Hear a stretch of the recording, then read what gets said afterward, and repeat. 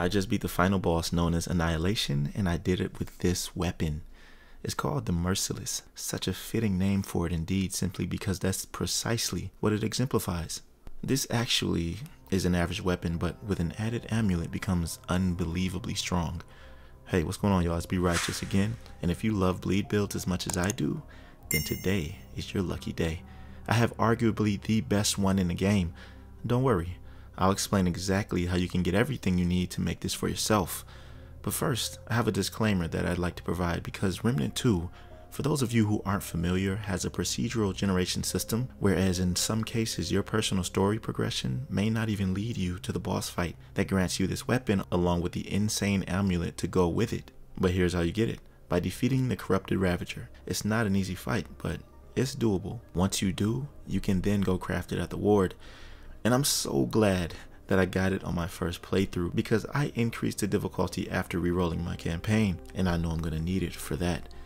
Here's what it does. It's classed as a long gun and it's a bleed weapon that fires tooth-like flechettes. When the weapon reticle is fully compressed, flechettes apply 250 bleeding damage over 10 seconds. This is considered a boss weapon so the mod cannot be changed. It's called Bloodline. It fires a devastating blast which penetrates through all enemies in its path it deals 150 damage with a 25% critical damage bonus and a 3 times additional stagger. So this pretty much staggers anything. Bloodline damage is increased by 50% for each enemy penetrated. So if you penetrate 3 enemies, that's 150% damage increase. The mod power requirement is only 350, which means these become active back to back. It's an automatic weapon and when you're firing, is when the mod stacks are generated. By that time, the enemy is bleeding, and when you're ready, you can activate Bloodline. This thing deals insane damage to anything. It doesn't discriminate, which is why I used it for the final boss. Plus, shielded enemies and groups are perfect for this mod. It demolishes anything like that. Now, once it's fully compressed, that's when the enemy bleeds, and this is a multifaceted playstyle. And in regards to the status effects in Remnant 2, in particular the bleed, is always one of the best advantages to have at any time. Statuses are very strong in this game. They offer passive damage that is vital during tough fights. Like when I was fighting Annihilation, he rarely gave me time to stop and shoot, so once I got those stacks up, the bleed is applied over 10 seconds. Then, activate Bloodline whenever you're comfortable. But I'm not finished with the amount of damage you can deal on this build, especially while the enemy is bleeding, because the Merciless is an average weapon like I said, without this amulet. So let's talk about it and the rings. One in particular that will set this build apart and what cemented it as being the hardest hitting bleed build in Remnant 2 is this amulet called Ravager's Mark. If you don't have this, you can use Chains of Amplification, which deals less damage. But when I think of this amulet, the Ravager's Mark, I can't help but to think of the infamous Predator's Mark from the Division.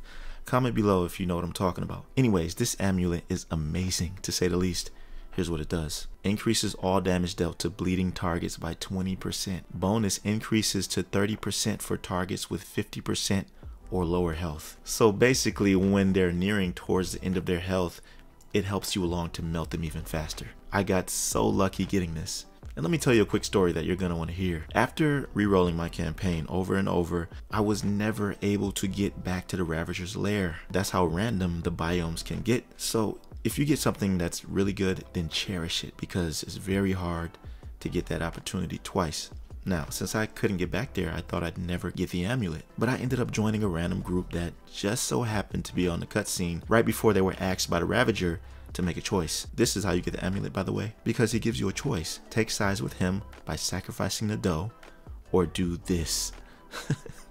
I don't know about you, but I'm not with that whole devil worship sacrifice type ish. So I attacked him, which ultimately ended up giving me the merciless when I beat him.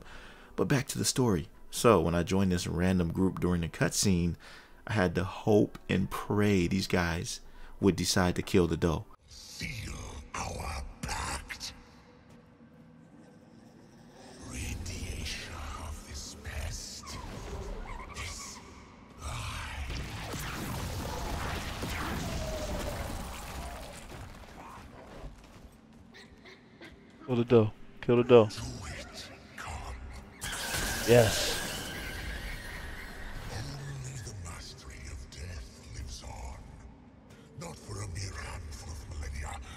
Indefinitely. the where Kill the be death. Let's see what happens.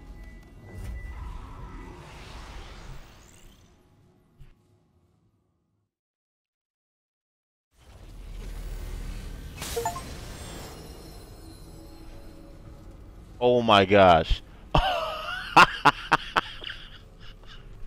oh my god, they just gave it to me. Let's go. And they did. I couldn't believe it. So you know that means this build was destined to come out. And I don't think this build's damage would be complete without this combo, honestly. There are still more rings that I'd like to get to help with bleed more, like this one called the Blood Jewel. Charged melee attacks apply bleed, dealing 460 bleed damage over 20 seconds. Now that's even more than what the Merciless does. This you can get in Yaesha at the Lost Temple, which is what I'm working on right now. Also the Assassin's Dagger that is a necessity to have as a melee weapon, which also does something with bleed. Because remember I said that I increased my difficulty, and if I want to increase it even more, this build has to evolve more.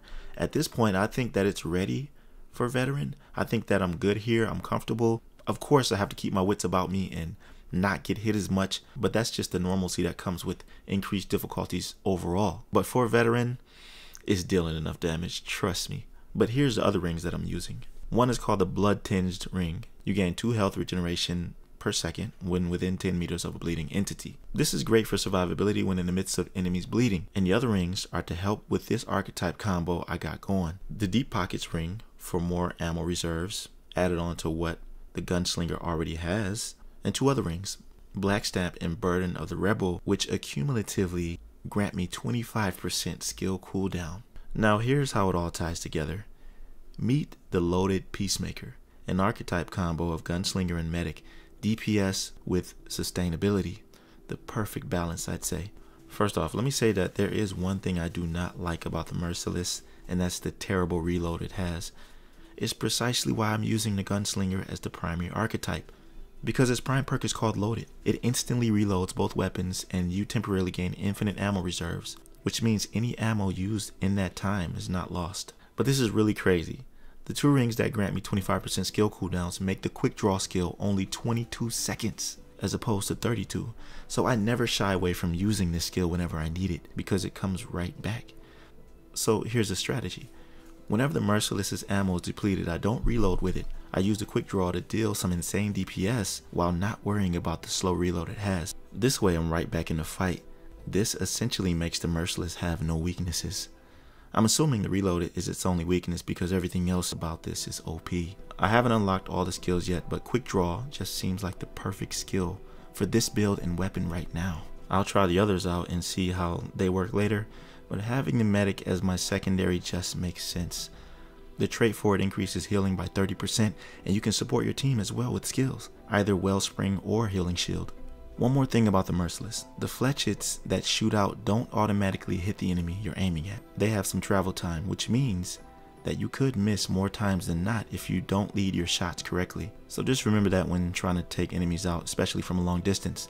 I think the Merciless has a bit of a higher skill gap than most other weapons, but that just usually means it's powerful. When it comes to the armor, I'd love to get the Leto armor.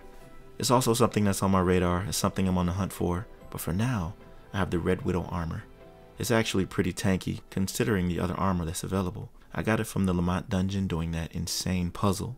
I can make a video about it, or you can just check out YouTube where there are tons of them already. But it also has some decent bleed resistance, and check this out. I'm not using the helmet. This one right here, I'm using the lodestone crown. What's great about this is how much it lights up dark areas. It makes the flashlight obsolete. But yeah, if you want to see any other Remnant videos I made, then here you go. And like the video if it helped you out in any way. Also, subscribe if you're new here. Finally, comment anything you'd like to add in the section below. I appreciate you watching to the end. I'll see you in my next video. Be right out.